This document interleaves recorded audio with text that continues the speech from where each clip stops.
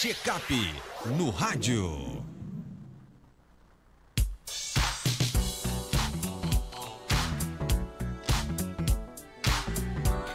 Checkup no rádio com o hipnoterapeuta João Marcelo. João, seja bem-vindo aqui ao nosso Panorama 95. Bom dia. Bom dia, bom dia Marcos Dantas, bom dia Geraldinho, bom dia você que está aí do outro lado do rádio, nos acompanhando nesta quarta-feira, já da Semana Santa, né?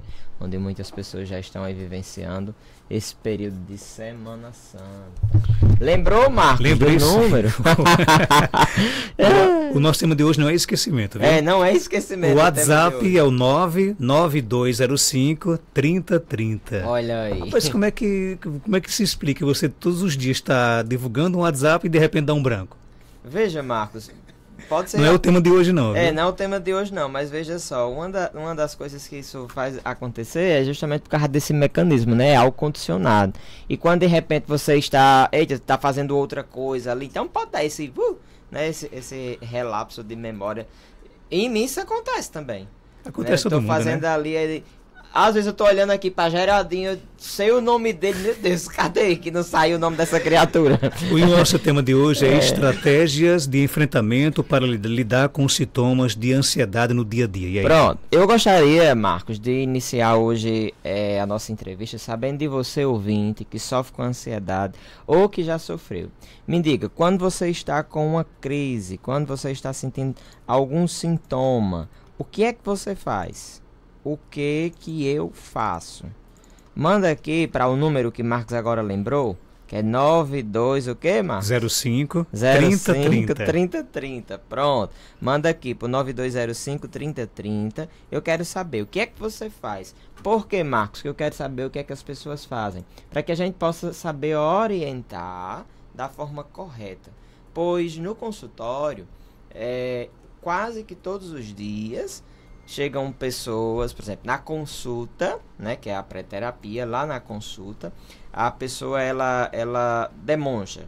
Quando eu vou perguntar, ah, quando você está sentindo um sintoma, quando você está numa crise, o que é que você faz? Aí a pessoa vai dizer, ah, eu faço isso, isso, isso, isso, isso, isso. Pronto. E normalmente, sempre aquela pessoa, ela faz algo que não vai ajudar ela tão bem né? Ela só faz piorar a situação. No lugar de melhorar, ela piora, né? Por isso que eu quero saber o que é que é que os ouvintes, que é que os ouvintes eles fazem na hora que está sentindo algum sintoma de ansiedade? Já responderam aqui já. Já não? responderam, pronto. Uma disse o... que arranca os, os cabelos, os fios de cabelos. Misericórdia. Quando tá com aquele monte de pensamento intrusivo que muita gente chama de pensamento negativos, ou então outras pessoas chamam de pensamentos ruins né? É uns pensamentos ruins. O povo fala de jeito no consultório, né? Fala bem como as pessoas falam.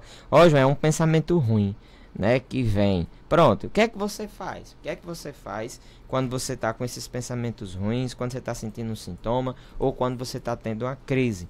E aí, para a gente poder estar tá lhe orientando para que a partir de hoje você comece a fazer a coisa da forma correta. É, Marcos, eu tô com esse negócio aqui desse celular, tá só caindo. Ajeite lá, Geraldinho. Olha, eu coloco o bicho cai, coloco o bicho cai. Olha, minha gente. É... Quando normalmente, quando normalmente, é, Marcos, você que está aí do outro lado, você que está aí do outro lado, agora acho que deu certo que eu subi bem. Olha, que eu tava assim, pra ficar, ó, aí vai caindo. Tem que Ui, chega por caridade. Minha gente. Continue que Geraldinho resolve aí. Vai, vai, vai, vai resolve. Aqui tá no negócio. Olha, eu tava falando o quê? É, quando normalmente você sentiu, começou a sentir a ansiedade, você percebe que você sentia menos sintomas do que o que você sente hoje? Você já percebeu isso? Você que está aí do outro lado, que está me acompanhando e que sofre com ansiedade. Quando você começou a sentir, você sentia bem menos coisas do que hoje. Hoje você vai sentir bem mais. Né? Os sintomas eles aumentaram a, a intensidade, surgiram novos sintomas ao longo do tempo. Né? Então, assim, é, e tem algo né, que vai explicar né, o porquê que isso realmente acontece. Uma das justificativas é a seguinte Porque você não fez a coisa certa. Se você tivesse feito a coisa certa, desde o começo, poderia ser que não estivesse chegado ao ponto que está hoje. Né? E aí a, a maioria das pessoas, Marcos, infelizmente, elas por não terem, não sei, o conhecimento, por não saber realmente. Tem gente que já fica com medo do que está sentindo, né? Tem gente que tem logo o medo de morrer, de passar mal, de adoecer, né? Então ela não consegue é, reagir tão bem na hora de uma crise, na hora que está tendo pensamentos intrusivos ou na hora que ela está até mesmo é, sentindo algum sintoma no seu dia a dia, seja no trabalho, seja em casa, seja na academia, seja em um supermercado, numa loja, no meio da rua, seja onde for.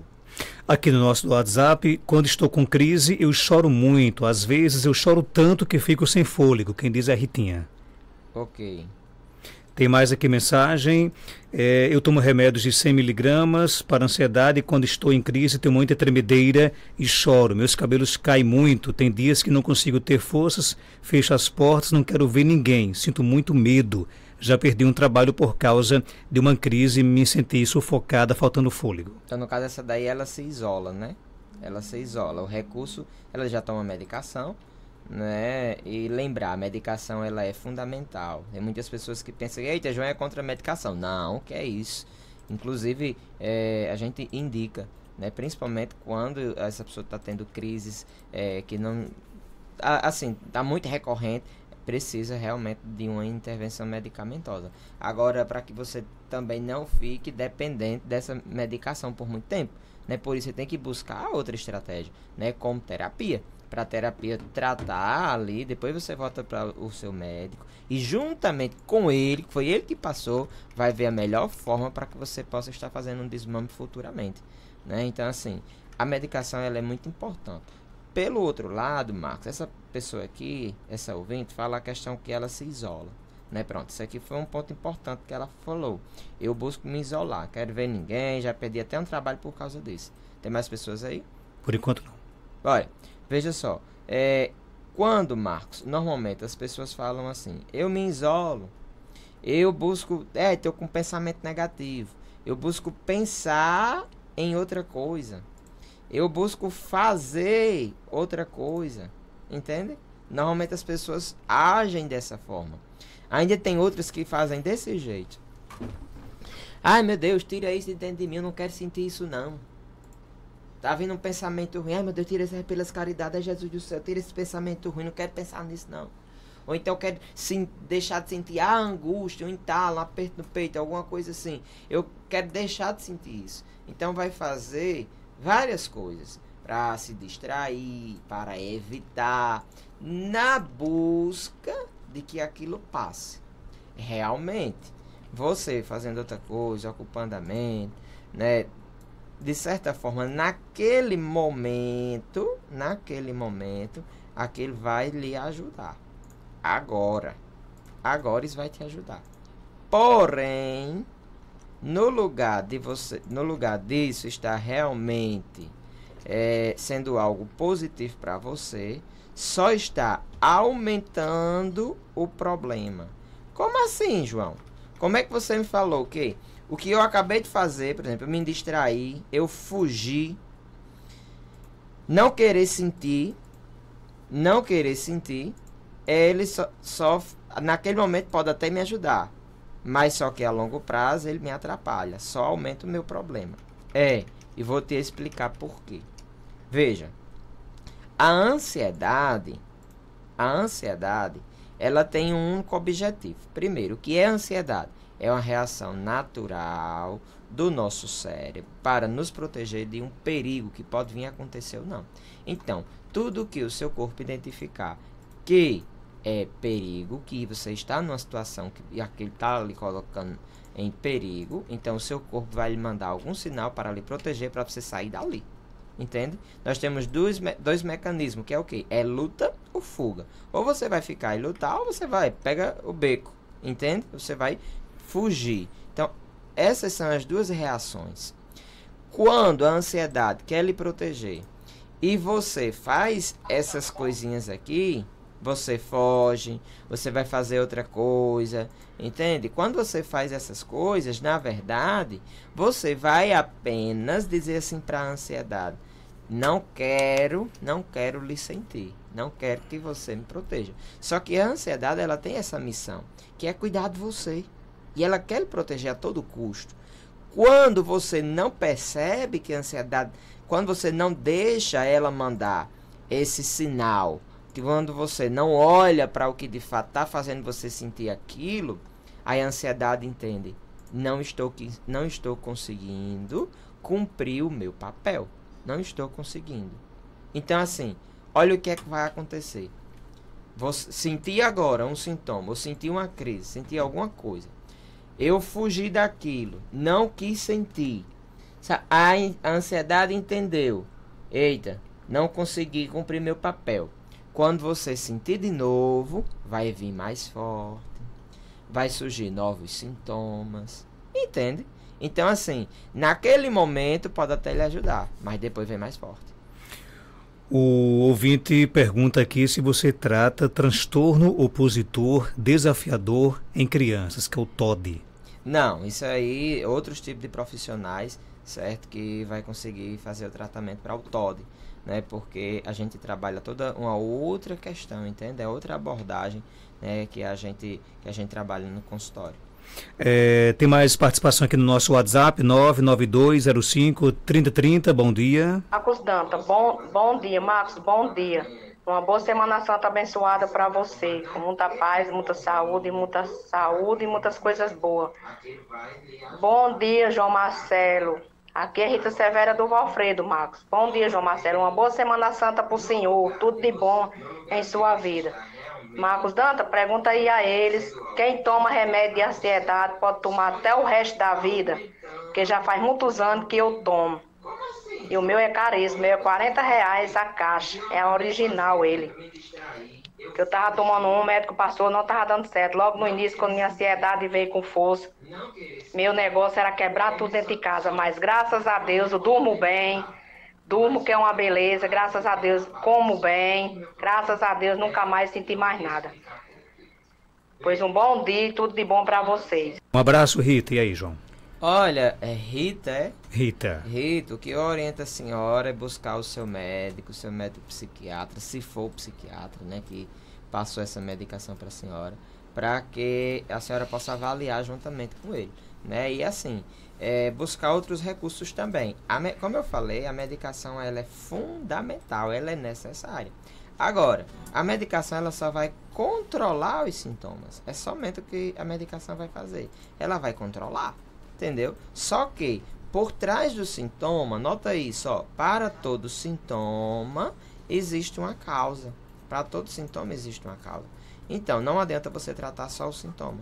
Quando você parar de tomar medicação, passa um tempo, aquilo volta e volta mais forte. Pode perceber, você que está aí do outro lado, como já aconteceu. Eita, estou tomando a medicação, aí para, não fiz nada, só tomei a medicação. Depois volta e você tu, cai de novo. Tem pessoas, por exemplo, que passam por é, momentos de ansiedade ou então de depressão. Ah, já tive duas, três vezes. Né? Ontem mesmo fiz uma terapia com uma pessoa que ela já começou há 22 anos atrás. Né? Ela teve uma primeira crise depressiva, depois há oito anos atrás teve outra e agora também está em outra. Então assim, tomo a medicação por um período, fico bem, paro de tomar medicação, não faço mais nada também, aí pronto. Aí passa um tempo, uh, tem outra recaída, quando vem outra recaída vem pior. Então assim, paralelo à medicação, estou controlado, aí eu tenho que buscar uma outra estratégia também, né, um outro recurso, que uma terapia para eu mergulhar nessa nesse autoconhecimento, para eu me entender, para eu realmente me cuidar, me tratar e aí lado a lado com a medicação, porque é um processo, Marcos, é, multidisciplinar, né, que nós caminhamos de mãos juntas, né? O hipnoterapeuta ele vai caminhar de mãos juntas com o psiquiatra, ele vai caminhar de mãos juntas com o com o psicólogo, ele vai caminhar de mãos juntas, né, com, sei lá, com um neurologista, com um cardiologista, entende? Então assim, quando se tem esse olhar, né, de tratar a pessoa, de cuidar a pessoa como um todo. Então, nós temos é, bem mais chances de ter sucesso, de ter o resultado que a pessoa espera. E, por que não, inclusive, a pessoa deixar um dia de tomar a medicação? Como muitas pessoas é, já passaram pelo consultório e hoje elas não tomam mais a medicação. Mas é o que eu digo: não tire a medicação por conta própria. Ninguém pode fazer isso, certo? É um ato infratório.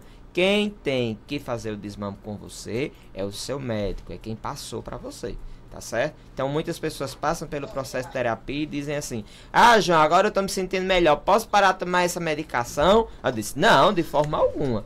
Olha o que é que você vai fazer.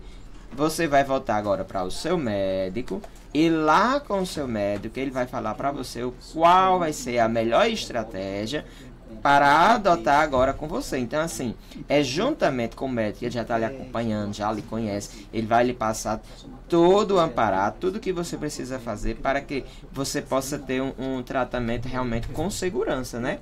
Para não, para não ocorrer né, coisas indesejáveis, que é, por exemplo, você, eita, vou tirar, estou me sentindo bem, não vou tomar isso. Né? Não é tão assim, o caminho não é desse jeito não, a gente tem que fazer a coisa com segurança. E a hipnoterapia e o tratamento medicamentoso, João, andam paralelos, lado, lado a lado. Paralelo, paralelo. Né? Não pense. Eita, João é contra a medicação. Não.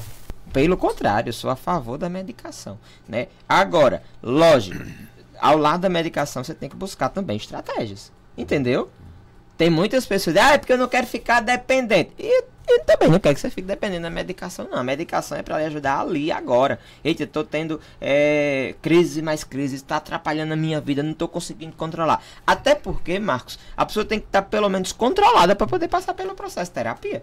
Quando a pessoa está tendo crise atrás de crise, não está controlada, a primeira coisa que eu digo é, olha, leve essa pessoa primeiro a um médico, a um especialista, para que ela possa ser medicada. Quando ela estiver controlada, aí ela retorna aqui para o consultório e ela pode passar pelo processo de hipnoterapia. Entende? Porque é um processo intenso, é um processo profundo, que vai mexer muito com as emoções dessa pessoa. E se essa pessoa não estiver controlada? Entende? Então, assim, tem que realmente ser algo que vai caminhar lado a lado. Tem mais participações? Bom dia.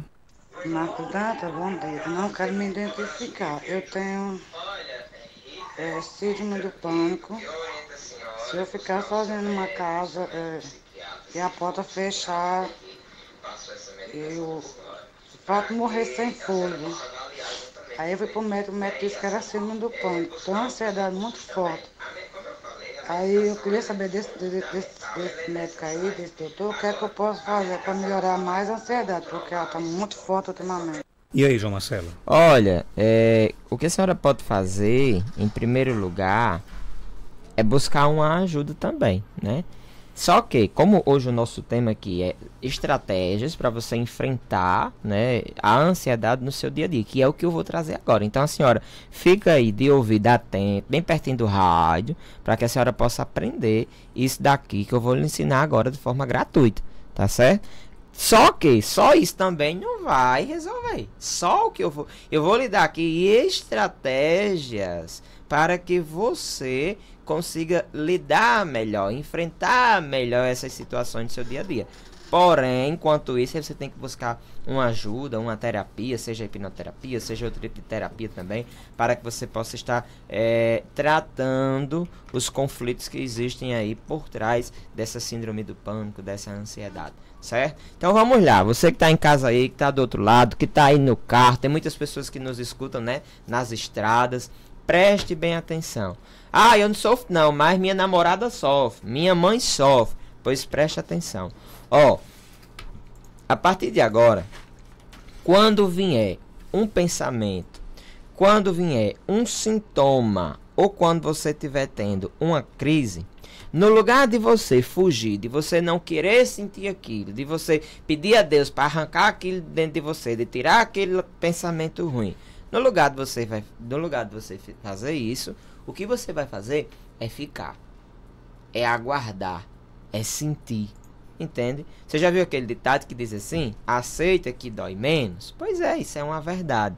Aceita que dói menos. Então, assim, Tô aqui, comecei. Vamos dizer que a primeira coisa que eu sinto quando eu percebo que vai me dar uma crise de ansiedade é porque me dá logo um frio na barriga. Aí pronto, desse frio na barriga eu já sinto medo. Aí eu já penso desse jeito. Ai meu Deus, vai me dar uma crise. Ai, vai me uma crise. Quer dizer, o medo vai tomando de conta de mim. E aí eu já fico, daqui a pouco, ai, vai me dar, vai me dar. Pronto, daqui a pouco eu já tô tendo realmente essa crise. Porque eu tô provocando, entendeu, Marcos? Então, o que você vai fazer é o que a partir de hoje? Eita, vai me dar uma crise. Pode vir, tô aqui para lhe sentir. E aí vai começar a vir outros sintomas. Sinta, não expulse, não fuja, não busque evitar. Pode sentir. Porque você querendo, você também não querendo, você vai sentir de todo jeito. O fato de você dizer não quer sentir não, não vai fazer, não vai fazer deixar você de sentir, né? Você não vai deixar de sentir. Você vai sentir do mesmo jeito. Então, veio, sinta aquela sensação, por mais ruim que seja. Quantas vezes você já sentiu ela, mas também quantas vezes você já venceu ela. E aí você vai utilizar. Você vai fazer o que eu vou falar agora. É como se você estivesse conversando com a sua mente. Aí você vai falar assim, ó. Mente, eu não sou você. Eu sou mais forte que você. Se sua mente está falando um pensamento ruim, um pensamento negativo, você vai dizer assim: nem tudo que você me fala é verdade. Porque a mente mente. Porque a mente mente. E se você for para uma queda de braço com a sua mente, ela ganha de primeira. Ela ganha de primeira. Entendeu? Então, assim, a mente mente. Então, não negocia com sua mente. Nem tudo que você me fala é verdade. Eu te acolho, eu aqui para lhe sentir, pode vir. Mas eu vou logo lhe dizendo: eu te aceito, eu te recebo, e eu me curo. Eu sou mais forte que você. Eu ajo apesar do medo. Eu já te venci uma vez e venço de novo. E aí você vai repetir. Mento, eu não sou você, eu sou mais forte que você, eu tô aqui para lhe sentir, pode vir. Eu te acolho, eu tô aqui para lhe sentir. Mas eu te aceito, eu te recebo e eu me curo. Eu já te venci uma vez e eu venço de novo. Eu é, eu ajo apesar do medo. Você vai fazendo essas estratégias, vai fazendo isso, vai fazendo. Veja que em nenhum momento eu mandei aquilo embora. Eu disse, pode vir, estou aqui para lhe sentir. Mas eu te venço. Eu me cuido de você. Entendeu? Quando você vai fazendo isso, as primeiras vezes que você fizer, não vai servir de nada, mas você vai continuar, vai continuar. Quando for lá para a oitava, para a décima vez que você estiver fazendo isso, é que você vai perceber que vai começar a surtir efeito. E por que demora, João? Porque você passou muito tempo fazendo tudo errado, fugindo, não querendo sentir, tá entendendo? Então, assim, agora que você está fazendo a coisa certa, então de, até você de fato né, se adaptar e repetindo, repetindo, você vai perceber que aquele sintoma vai embora, que aquele pensamento também vai deixar de estar lhe incomodando. Faça isso no seu dia a dia, que eu tenho certeza que você adotando essa estratégia vai é, lhe ajudar bastante. João Marcelo, ele é hipnoterapeuta, está na clínica Naí Costa, na rua Padre João Maria, 56, vizinho à Catedral de Santana, no centro de Caicó. Telefone 996966533, o Instagram, arroba João Ansiedade. Obrigado, João. Obrigado, Marcos. Quero desejar a você, ouvinte, que está aqui conosco todas as quartas-feiras, uma ótima Semana Santa. Que Deus possa nos abençoar grandemente. Tchau, tchau. E vamos ficando por aqui.